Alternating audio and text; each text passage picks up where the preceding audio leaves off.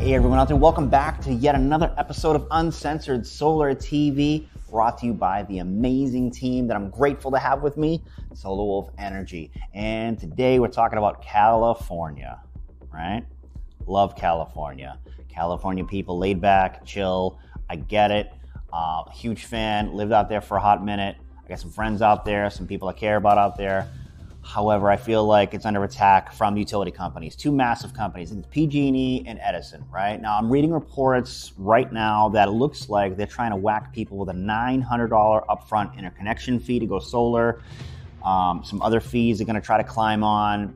Now, I can't help but think this is in, in basically retaliation of the mandate that went through, the law that went through with all new homes have to have solar. And I guess, and correct me if I'm wrong, if any house has a certain amount of percentage of remodeling, it will also include that too. So now we're looking at it where the utility company is saying, oh, this is real.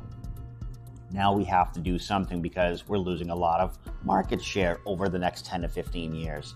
Obviously, this current administration in, in place they're pro solar. So it looks to me like the utility companies are trying to claw back or potentially defend their territory. And I gotta say, those of us in the solar industry, we knew this was gonna happen. We knew it years ago. We've been saying it, all of us, industry wide, those of us in it. And it's about time, honestly. So we deserve this. So, to those utility companies in California trying to push back, as a business person, I understand what you're doing. And I get it. I completely get it. I, I, I, see it. I think we all do. But it also is time for you guys to accept the fact that you're going to have to work with us because eventually you may be obsolete.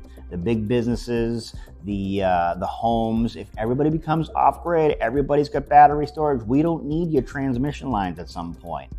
So, to those who are in power at the power companies, take note we're not playing the games anymore. We're not going up with the hiking fees. We're not going up with the three and four hour phone call wait times. We're not doing it anymore. And you're all on notice.